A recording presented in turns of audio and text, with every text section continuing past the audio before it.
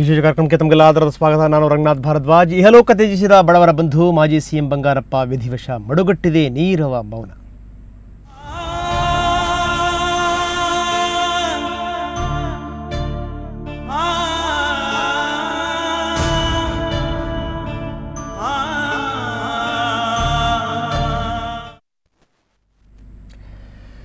ನಿನ್ನೆ ರಾತ್ರಿ ನಿಧನರಾದ ಮಾಜಿ ಸಿಎಂ ಬಂಗಾರಪ್ಪ ಅವರ ಪಾರ್ಥಿವ ಶರೀರವನ್ನು ಸದಾಶಿವನಗರದ ನಿವಾಸದಲ್ಲಿ ಸಾರ್ವಜನಿಕರ ದರ್ಶನಕ್ಕೆ ಇಡಲಾಗಿದೆ. ಅವರ ಬಂಧುಗಳು, ಮಿತ್ರರು, ಅಭಿಮಾನಿಗಳು ನೂರಾರು ಸಂಖ್ಯೆಯಲ್ಲಿ ಸೇರಿದ್ದಾರೆ. ಕುಟುಂಬದವರಲ್ಲಿ ದುಃಖ ಮುಡುಗಟ್ಟಿದೆ. ಚಿತ್ರ ನಿರ್ಮಾಪಕಿ ಪಾರ್ವತಮ್ಮ ರಾಜ್ಕುಮಾರ್, ಸಚಿವ ಸುರೇಶ್ ಕುಮಾರ್, ಚಿತ್ರನಟ ಬಾಲರಾಜ್ ಸೇರಿದಂತೆ ಹಲವು ಗಣ್ಯರು ಆಗಮಿಸಿ ಬಂಗಾರಪ್ಪನವರಿಗೆ ಅಂತಿಮ ನಮನವನ್ನು ಸಲ್ಲಿಸಿದರು. ಸಚಿವರಾದ ಸೋಮಣ್ಣ, ಬಸವರಾಜ ಬೊಮ್ಮಾಯಿ ಕೂಡ ಬಂಗಾರಪ್ಪ ಅವರಿಗೆ ಅಂತಿಮ ನಮನ ಸಲ್ಲಿಸಿ ಕುಟುಂಬದವರಿಗೆ ಸಾಂತ್ವನ ಹೇಳಿದರು.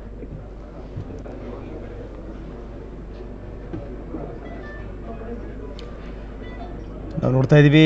ನೇರ ದೃಶ್ಯಾವಳಿಗಳನ್ನು ಬಂಗಾರಪ್ಪನವರ ಅಂತಿಮ ದರ್ಶನವನ್ನು ಹಲವಾರು ಗಣ್ಯರು ಪಡಿತಾ ಇದ್ದಾರೆ. ವೈ ಎಸ್ ಪಿ ದತ್ತ ಅವರನ್ನು ಕೂಡ ನಾವು ಕಾಣ್ತಾ ಇದ್ದೀವಿ. ಬಂಗಾರಪ್ಪನವರು ಅತ್ಯಂತ ಒಂದು ದೊಡ್ಡ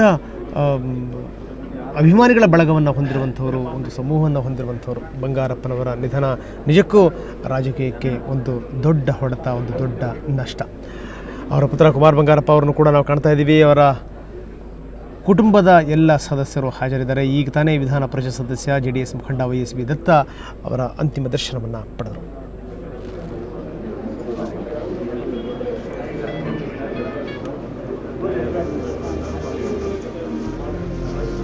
ಬಂಗಾರಪ್ಪನವ್ರಿಗೆ ಇತ್ತೀಚೆಗೆ ಯಾಕೋ ಆರೋಗ್ಯ ಸಾಕಷ್ಟು ಹದಗೆಟ್ಟಿತ್ತು. ಆದರೆ ಇನ್ನೇನು ಬಂಗಾರಪ್ಪ ನೆಲ ಕಚ್ಚಿ ಬಿಡ್ತಾರೆ ಅನ್ನುವಂಥ ಸಂದರ್ಭದಲ್ಲಿ ಎದ್ದು ನಿಂತಿರುವಂಥದ್ದು ಹಲವಾರು ಸಂದರ್ಭಗಳಲ್ಲಿ ನಾವು ನೋಡ್ತೀವಿ. ಯಾಕಂದರೆ ಬಂಗಾರಪ್ಪ ಹಲವಾರು ಸಂದರ್ಭಗಳಲ್ಲಿ ಆಸ್ಪತ್ರೆಗೆ ಆ, ಸೇರಿಕೊಂಡಿದ್ರು.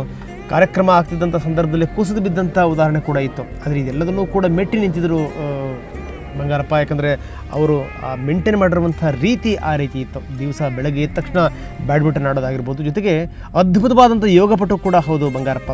ಹೀಗಾಗಿ ಆರೋಗ್ಯವನ್ನು ತುಂಬ ಚೆನ್ನಾಗಿ ಇಟ್ಕೊಂಡಿದ್ರು. ಆದರೆ ಇತ್ತೀಚಿನ ಇತ್ತೀಚಿನ ದಿನಗಳಲ್ಲಿ ಮಾತ್ರ ಆರೋಗ್ಯ ಸ್ವಲ್ಪ ಹದಗೆಡ್ತಾ ಬಂದಿತ್ತು. ಬೆಂಗಳೂರಿನ ಮಲ್ಯ ಆಸ್ಪತ್ರೆಗೆ ಅವರನ್ನು ದಾಖಲು ಮಾಡಲಾಗಿತ್ತು. ವಿವಿಧ ಅಂಗಗಳ ವೈಫಲ್ಯತೆಯಿಂದ ಅವರು ಬಳಲ್ತಾ ಇದ್ದರು ವಿಶೇಷವಾಗಿ ಕಿಡ್ನಿ ವೈಫಲ್ಯದಿಂದ ಬಂಗಾರಪ್ಪ ಬಳತಾ ಇದ್ದರು ಅತಿಯಾದ ಮಧುಮೇಹ ಅವರಿಗೆ ಸಾಕಷ್ಟು ಹೊಡೆತವನ್ನು ಕೊಟ್ಟಿತ್ತು. ಎಪ್ಪತ್ತೊಂಬತ್ತು ವರ್ಷದ ಬಂಗಾರಪ್ಪ ನಿನ್ನೆ ರಾತ್ರಿ ಹನ್ನೆರಡು ನಲವತ್ತೈದರ ಸುಮಾರಿಗೆ ನಿಧನರಾದರು. ಡಿಸೆಂಬರ್ ಏಳರಂದು ಅವರು ಆಸ್ಪತ್ರೆಗೆ ದಾಖಲಾಗಿದ್ದರು ಅದಾದ ನಂತರ ಬಂಗಾರಪ್ಪ ಮತ್ತೆ ಚೇತರಿಸ್ಕೊಳ್ಳಿಲ್ಲ, ಬಂಗಾರಪ್ಪ ಮತ್ತೆ ಎದ್ದು ಬರಲೇ ಇಲ್ಲ. ಬಂಗಾರಪ್ಪನವ್ರದ್ದು ಒಂದು ಲೆಕ್ಕದಲ್ಲಿ ಹೋರಾಟದ ವ್ಯಕ್ತಿತ್ವ, ಹೋರಾಟದ ಜೀವನ. ಇಪ್ಪತ್ತಾರು ಹತ್ತು ಸಾವಿರದ ಒಂಬೈನೂರ ಮೂವತ್ತೆರಡರಲ್ಲಿ ಶಿವಮೊಗ್ಗ ಜಿಲ್ಲೆ ಸೊರಬ ತಾಲೂಕಿನ ಕುಬುಟೂರು ಅನ್ನುವಂಥ ಒಂದು ಕುಗ್ರಾಮದಲ್ಲಿ ಬಂಗಾರಪ್ಪ ಜನಿಸಿದರು. ಅಲ್ಲಿಂದ ಹೋರಾಟ ಮಾಡಿಕೊಂಡೇ ಅವರು ಬಂದಿರುವಂಥದ್ದು. ಸಾವಿರದ ಒಂಬೈನೂರ ಅರವತ್ತೆರಡರಲ್ಲಿ ಅವರ ರಾಜಕೀಯ ಪ್ರವೇಶವಾಯಿತು. ಅದಾದ ನಂತರ ಸಾವಿರದ ಒಂಬೈನೂರ ತೊಂಬತ್ತರಿಂದ ತೊಂಬತ್ತೆರಡರಲ್ಲಿ ಅವರು ಮುಖ್ಯಮಂತ್ರಿಯಾಗಿ ಕೂಡ ಸೇವೆ ಸಲ್ಲಿಸಿದರು. ಆದರೆ ಅದಕ್ಕಿಂತ ಪೂರ್ವಭಾವಿಯಾಗಿ ಹಲವಾರು ಬಾರಿ ಅವರು ಶಾಸಕರಾಗಿದ್ದರು. ಸರಿಸುಮಾರು ಮೂವತ್ತು ವರ್ಷ ಶಾಸಕರಾಗಿರುವಂಥ ನಾಯಕ. ಕೇಂದ್ರ ಸಚಿವ ಖುರ್ಷಿದ್ ಸಲ್ಮಾನ್ ಖುರ್ಷಿದ್ ಅವರನ್ನು ಕೂಡ ನಾವು ನೋಡ್ತಾ ಇದ್ದೀವಿ. ಅವರು ಕೂಡ ಇಹಲೋಕ ತ್ಯಜಿಸಿದ ಜನನಾಯಕನ ಅಂತಿಮ ದರ್ಶನವನ್ನು ಪಡೆದರು. ಮಾಜಿ ಸಚಿವ ರೋಷನ್ ಬೇಗ್ ಕೂಡ ಅವರ ಜೊತೆಗಿದ್ದಾರೆ. ನಾವು ನೋಡ್ತಾ ಇದ್ದೀವಿ, ಸದಾಶಿವನಗರದ ಬಂಗಾರಪ್ಪನವರ ಮನೆಯಿಂದ ನೇರ ದೃಶ್ಯಾವಳಿಗಳು. ಬಂಗಾರಪ್ಪನವರ ಅಂತಿಮ ದರ್ಶನಕ್ಕೆ ಗಣ್ಯಾತಿ ಗಣ್ಯರು ಬರ್ತಾ ಇದ್ದಾರೆ. ಕೇಂದ್ರ ಸಚಿವ ಕೇಂದ್ರ ಸಚಿವ ಸಲ್ಮಾನ್ ಖುರ್ಷಿದ್ ಅವ್ರನ್ನ ನಾವು ನೋಡ್ತಾ ಇದ್ದೀವಿ.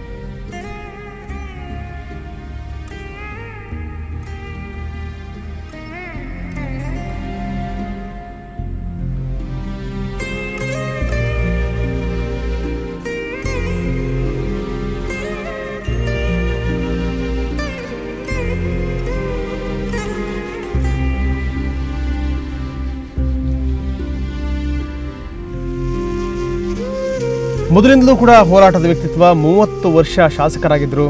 ಸರಿಸುಮಾರು ನಲವತ್ನಾಲ್ಕು ವರ್ಷ ರಾಜಕಾರಣ ಮಾಡಿರುವಂಥವ್ರು. ಆದರೆ ಅವರು ಅಧಿಕಾರ ಅಂತ ನೋಡಿದ್ದು ಕೇವಲ ಐದು ವರ್ಷಗಳು ಮಾತ್ರ. ಅಂತೂ ಈ ರಾಜ್ಯವನ್ನು ಇಂಚಿಂಚು ಕೂಡ ಸುತ್ತಾಡಿರುವಂಥವ್ರು ಅಂತಂದರೆ ಅವರು ಮೂರು ಜನ ನಾಯಕರುಗಳು ಮಾತ್ರ. ಒಬ್ಬರು ದೇವೇಗೌಡರು ಇನ್ನೊಬ್ಬರು ಯಡಿಯೂರಪ್ಪ ಮತ್ತೊಬ್ಬರು ಬಂಗಾರಪ್ಪ. ಸೊ ಅಂತೂ ಆ ಮೂರು ನಾಯಕರಲ್ಲಿ ಒಬ್ಬ ನಾಯಕ ಈಗ ಇಲ್ಲ. ನಾವು ನೋಡ್ತಾ ಇದ್ದೀವಿ, ಸದಾಶಿವನಗರದಿಂದ ನೇರ ದೃಶ್ಯಾವಳಿಗಳು ಸದಾಶಿವನಗರದ ಬಂಗಾರಪ್ಪನವರ ಮನೆಯಿಂದ ಹಲವಾರು ಗಣ್ಯರು ಈಗಾಗಲೇ ಅಂತಿಮ ದರ್ಶನವನ್ನು ಪಡೆದಿದ್ದಾರೆ. ಇನ್ನೂ ಕೂಡ ಹಲವಾರು ಗಣ್ಯರು ಬರ್ತಾ ಇದ್ದಾರೆ. ಈಗ ತಾನೇ ಶೋಭಾ ಕರಂದ್ಲಾಜೆ ಕೂಡ ಬಂಗಾರಪ್ಪನವರ ಅಂತಿಮ ದರ್ಶನವನ್ನು ಪಡೆದರು. ಅವರ ಯೋಜನೆಗಳು ಅಂದ್ರೆ ಒಂದು ಲೆಕ್ಕದಲ್ಲಿ ವಿಶಿಷ್ಟವಾದಂಥ ಯೋಜನೆಗಳು. ಅದು ವಿಶ್ವ ಆಗಿರ್ಬೋದು, ಅದು ಆರಾಧನಾ ಆಗಿರ್ಬೋದು, ಜೊತೆಗೆ ಆಶ್ರಯ. ಆರಾಧನಾ ಅಂತೂ ಒಂದ್ಸರಿ ಬಂಗಾರಪ್ಪ ತುಂಬ ಅದ್ಭುತವಾಗಿ ಮಾತಾಡ್ತಾರೆ ಸದನದಲ್ಲಿ. ಯಾಕೆ ಈ ಸಣ್ಣ ಪುಟ್ಟ ದೇವಾಲಯಗಳನ್ನೆಲ್ಲ ನೀವು ದುರಸ್ತಿ ಕಾರ್ಯ ಮಾಡ್ತಾ ಇದ್ದೀರಿ ಅನ್ನೋ ಅಂತ ಕೇಳಿದಂಥ ಪ್ರಶ್ನೆಗಳಿಗೆ ಯಡಿಯೂರಪ್ಪ ಯಡಿಯೂರಪ್ಪನವರಿಗೂ ಕೂಡ ಸರಿಯಾದ ಉತ್ತರವನ್ನು ಕೊಟ್ಟಿದ್ದಾರೆ ಬಂಗಾರಪ್ಪ. ಬಂಗಾರಪ್ಪ ಹೇಳಿದಂಥ ಉತ್ತರ ಅಂದರೆ ಏನು ಬರೀ ಈ ದೊಡ್ಡ ದೊಡ್ಡ ದೇವಾಲಯಗಳ ಮಾತ್ರ ಜೀರ್ಣೋದ್ಧಾರಕ್ಕೆ ನಾವು ಯೋಚನೆ ಮಾಡ್ತೀವಿ, ಅದ್ರ ಅದಕ್ಕೆ ಮಾತ್ರ ನಾವು ಪ್ರಯತ್ನ ಮಾಡ್ತೀವಿ. ಆದರೆ ಜನಸಾಮಾನ್ಯರು ಏನು ಪೂಜೆ ಮಾಡ್ತಾರೆ? ಅದು ಕಾಳಮ್ಮ ಆಗಿರ್ಬೋದು, ದುರ್ಗಮ್ಮ ಆಗಿರ್ಬೋದು, ಮಾಂಕಾಳಮ್ಮ ಆಗಿರ್ಬೋದು, ಇಂಥ ದೇವಸ್ಥಾನಗಳನ್ನು ಯಾರೂ ಕೂಡ ದುರಸ್ತಿ ಮಾಡೋಕ್ಕೆ ಹೋಗೋದಿಲ್ಲ. ಯಾಕೆ, ಅವ್ರಿಗೊಂದಿಷ್ಟು ಭಕ್ತಿ ಇಲ್ವಾ, ಭಾವನೆ ಇಲ್ಲ, ಅವ್ರಿಗೆ ಸಂಸ್ಕೃತಿ ಇಲ್ವಾ? ಹೀಗಾಗಿ ಏನು ಅಂತಂದರೆ ಅಂಥ ದೇವಾಲಯಗಳನ್ನು ಉದ್ಧಾರ ಮಾಡಬೇಕು. ಹೀಗಾಗಿ ನಾವು ಆರಾಧನವನ್ನು ತರ್ತಾ ಇದ್ದೀನಿ ಅಂತ. ಅಷ್ಟೇ ಯಶಸ್ವಿಯಾಗಿ ತಂದಂಥವರು ಕೂಡ. ಅಂದರೆ ಬಂಗಾರಪ್ಪನವರು ಏನೇ ಮಾಡ್ಲಿಕ್ಕೆ ಹೊರಟರೂ ಕೂಡ ಎಲ್ಲೋ ಒಂದು ಕಡೆ ಒಂದು ದೂರದೃಷ್ಟಿ ಇರ್ತಾ ಇತ್ತು. ಏನಾದರೂ ಒಂದು ಯೋಜನೆ ಮಾಡ್ತಾರೆ ಅಂತಂದರೆ ಅದು ಉಳಿಯುವಂಥ ಯೋಜನೆ ಆಗ್ತಿತ್ತು. ಅದಕ್ಕೆ ಈ ವಿಶ್ವ ಆಗಿರ್ಬೋದು ಈ ಈ ಆರಾಧನಾ ಆಗಿರ್ಬೋದು, ಮತ್ತು ಆಶ್ರಯ ಯೋಜನೆಗಳು ಇವೆಲ್ಲೂ ಕೆಲವೊಂದು ಉದಾಹರಣೆಗಳು ಮಾತ್ರ. ನಾನು ಹೇಳ್ತಾ ಇದ್ದೆ ಅಂದರೆ, ಮೂವತ್ತು ವರ್ಷ ಶಾಸಕರಾಗಿ ಅವರು ಸೇವೆ ಸಲ್ಲಿಸಿದಂಥವ್ರು, ನಲವತ್ನಾಲ್ಕು ವರ್ಷ ರಾಜಕಾರಣ ಮಾಡಿದಂಥವ್ರು. ಆದರೆ ಅಧಿಕಾರ ಅಂತ ಕಂಡಿದ್ದು ಅವರು ಐದು ವರ್ಷ ಮಾತ್ರ. ಬಹುಶಃ ಒಂದು ಕಡೆ ನಿಲ್ಲಲಾರದ ಅವರ ಮನಸ್ಥಿತಿ ಏನಿದೆ, ಒಂದು ಕಡೆಗೆ ಒಂದು ಸ್ಥಿತಿಗೆ ಒಗ್ಗಲಾರದಂಥ ಅವರ ಮನಸ್ಥಿತಿ ಏನಿದೆ, ಅದು ಈ ಅವರ ಈ ಒಂದು ಸ್ಥಿತಿಗೆ ಕಾರಣ ಆಯ್ತನು. ಬಂಗಾರಪ್ಪನವರ ಆಗಲಿಕ್ಕೆ ಕೇವಲ ರಾಜ್ಯಕ್ಕಲ್ಲ ಅದು ದೇಶಕ್ಕೆ ಒಂದು ದೊಡ್ಡ ನಷ್ಟ ಅಂತ ಬಣ್ಣಿಸ್ತಾರೆ ಸಲ್ಮಾನ್ ಖುರ್ಷೀದ್. ಸಲ್ಮಾನ್ ಖುರ್ಷೀದ್ ಅವರ ವರ್ಣರಂಜಿತ ವ್ಯಕ್ತಿತ್ವವನ್ನು ಕೂಡ ನೆನೀತಾರೆ. ಅದು ಬ್ಯಾಡ್ಮಿಂಟನ್ ಜೀವನ ಆಗಿರ್ಬೋದು. ಜೊತೆಗೆ ಸಂಸತ್ತಲ್ಲಿ ಮಾತನಾಡುವಂಥ ಬಗೆ, ವಿಧಾನಸಭೆಯಲ್ಲಿ ಮಾತನಾಡುವಂಥ ರೀತಿ ಎಲ್ಲದನ್ನೂ ಕೂಡ ಅವರು ಜ್ಞಾಪಿಸ್ಕೊಳ್ತಾ ಇದ್ದಾರೆ.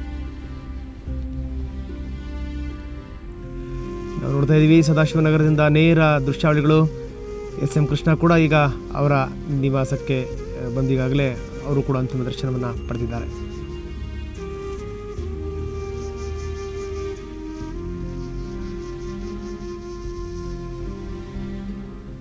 ನೇರ ದೃಶ್ಯಾವಳಿಗಳನ್ನು ನೋಡ್ತಾ ಇದ್ದೀವಿ ಸದಾಶಿವನಗರದಿಂದ ಬಂಗಾರಪ್ಪನವ್ರ ಮನೆಯಿಂದ ನೇರ ದೃಶ್ಯಾವಳಿಗಳು.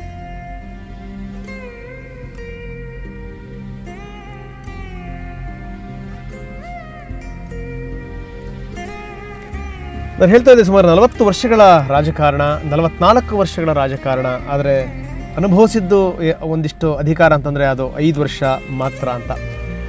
ಬಹುಶಃ ಯಾವಾಗಲೂ ಕೂಡ ಸಿಡಿದೇಳುವಂಥ ಒಂದು ಮನೋಭಾವನೆ, ಒಂದು ಕಡೆ ನಿಲ್ಲಲಾರದಂಥ ಒಂದು ಮನೋಭಾವನೆ, ಜೊತೆಗೆ ವ್ಯವಸ್ಥೆಯ ವಿರುದ್ಧ ದನಿಯೇರಿಸುವಂಥ ಮನೋಭಾವನೆ ಏನಿತ್ತು ಹೇಳಿ ಬಂಗಾರಪ್ಪನವ್ರದ್ದು, ಅದು ಬಂಗಾರಪ್ಪನವ್ರಿಗೆ ಅಂಥ ಒಂದು ಸ್ಥಿತಿಯನ್ನು ತಂದುಕೊಡ್ತು.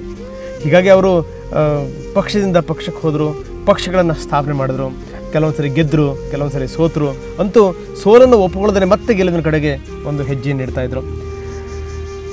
ನಲವತ್ನಾಲ್ಕು ವರ್ಷಗಳ ರಾಜಕಾರಣದಲ್ಲಿ ಒಂಬತ್ತು ಪಕ್ಷಗಳಲ್ಲಿ ಅವರು ಕಾರ್ಯನಿರ್ವಹಣೆ ಮಾಡಿದ್ದಾರೆ ಅಂತಂದರೆ ಬಹುಶಃ ಬಂಗಾರಪ್ಪನವರ ವ್ಯಕ್ತಿತ್ವ ಎಂಥದ್ದು ಅನ್ನುವಂಥದ್ದು ಗೊತ್ತಾಗುತ್ತೆ. ನಾವು ನೋಡ್ತಾ ಇದ್ವಿ ಡಿ ಎ ಶಂಕರಮೂರ್ತಿ ಈಗ ತಾನೇ ಬಂದಿದ್ದಾರೆ ಸದಾಶಿವನಗರದ ಬಂಗಾರಪ್ಪನವರ ಮನೆಗೆ. ಡಿ ಎ ಶಂಕರಮೂರ್ತಿ ಕೂಡ ಬಂಗಾರಪ್ಪನವರ ಬಹಳ ಹತ್ತಿರದಿಂದ ಕಂಡಂಥವರು.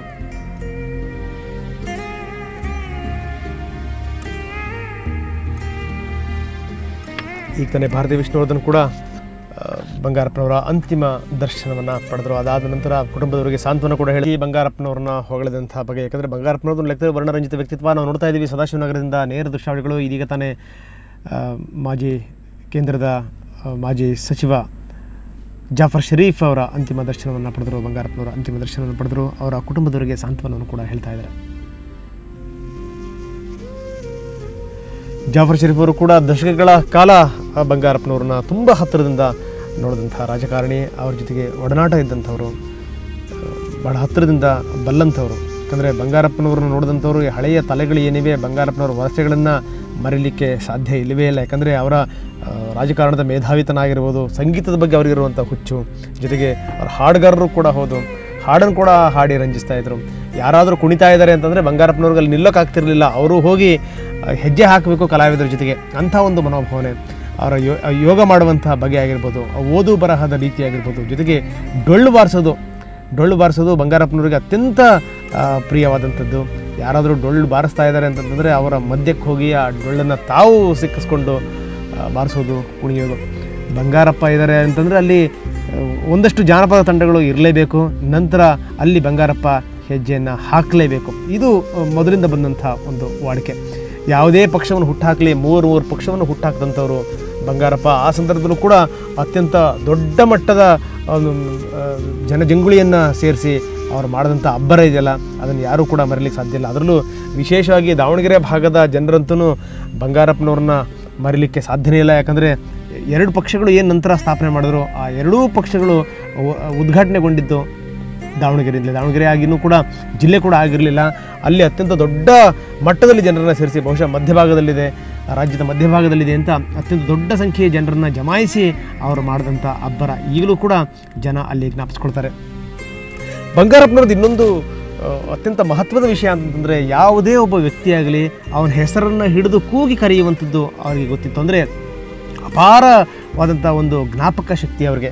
ನೀವು ಯಾವುದೇ ಹಳ್ಳಿಗೆ ಹೋಗಲಿ, ಯಾವುದೇ ಒಬ್ಬ ಪಂಚಾಯತ್ ಸದಸ್ಯ ಆಗಿರಲಿ ದೂರದಿಂದಲೇ ಮಾತಾಡುವಂಥದ್ದು, ಇನ್ನೊಂದು ಅವರ ವಿಶೇಷ ಗುಣ ಅಂತಂದರೆ ಭಾಷಣ ಆಗ್ತಿದ್ದ ಸಂದರ್ಭದಲ್ಲಿ ಯಾರಾದರೂ ಒಬ್ರು ಗಲಾಟೆ ಮಾಡಿದ್ರು ಅಂದರೆ ಆ ಸಂಬಂಧಪಟ್ಟಂಥ ವ್ಯಕ್ತಿಯ ಹೆಸರನ್ನೇ ಹಿಡಿದು ಅವ್ರನ್ನ ಬಾಯಿ ಮುಚ್ಚುವಂಥದ್ದು ಬಹುಶಃ ರಾಜಕಾರಣದಲ್ಲಿ ಅತ್ಯಂತ ಅಪರೂಪವಾದಂಥ ಒಂದು ಸನ್ನಿವೇಶ ಇದು.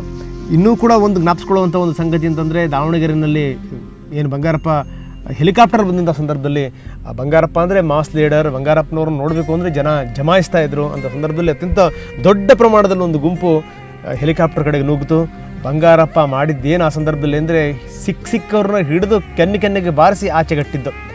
ನಂತರ ನಾನು ಯಾಕೆ ಹೊಡೆದೆ ಅದನ್ನು ಅವ್ರಿಗೆ ಅಂತ ಮತ್ತೆ ಭಾಷಣದಲ್ಲಿ ಅದಕ್ಕೊಂದು ಸಮರ್ಥನೆಯನ್ನು ಕೂಡ ಕೊಟ್ಟರು. ಬಂಗಾರಪ್ಪ, ಏನು ಅಂದರೆ ಅಭಿಮಾನ ಒಂದು ಕಡೆ ಇರಲಿ, ಅಭಿಮಾನದ ಮನೆ ಹಾಳಾಗೋಯ್ತಂತೆ, ನಿಮ್ಮ ತಲೆ ಉಳಿದ್ರೆ ತಾನೇ ನನ್ನ ಮೇಲಿರುವಂಥ ಅಭಿಮಾನ ಉಳಿಲಿಕ್ಕೆ ಸಾಧ್ಯ.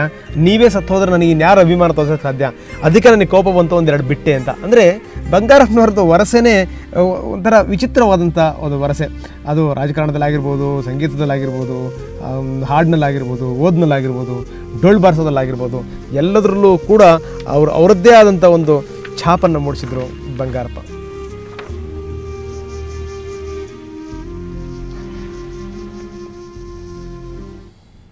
ಬಹಳಷ್ಟು ಜನ ನಾಯಕರಿಗಾಗಲೇ ಅಂತಿಮ ದರ್ಶನವನ್ನು ಪಡಿತಾ ಇದ್ದಾರೆ ಇನ್ನಷ್ಟು ವಿವರಗಳನ್ನ ನೀಡ್ತೀವಿ. ಜೊತೆಗೆ ನೇರ ಪ್ರಸಾರದ ಮುಖಾಂತರ ಎಲ್ಲದನ್ನು ಕೂಡ ನಿಮ್ಮ ಮುಂದೆ ಇಡ್ತೀವಿ ಅದಕ್ಕಿಂತ ಮೊದಲು ಒಂದು ಪುಟ್ಟ ವಿರಾಮ